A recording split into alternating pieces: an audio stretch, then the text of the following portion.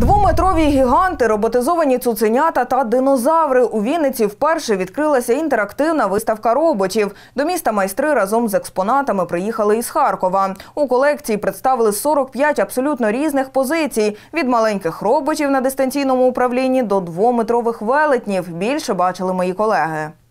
Вони жваво витанцьовують, лазують смачненьким прямо з рук та навіть можуть вас прокатати.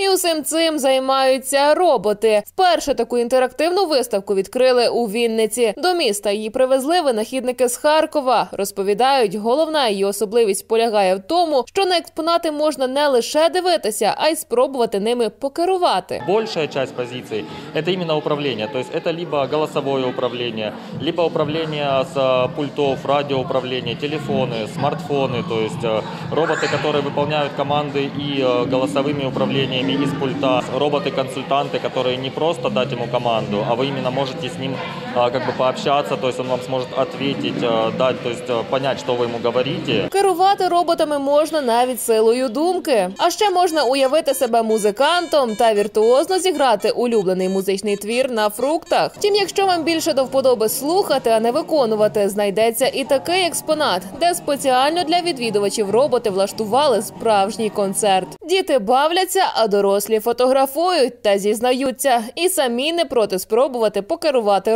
роботами. Загалом виставка мандрує Україною вже не перший рік. Втім, до Вінниці завітала вперше, аби на власні очі побачити та поспілкуватися з роботами. У вінничан ще є час до 14 лютого. Анастасія Антонюк, Ірина Гойнік. Новини. Правда тут.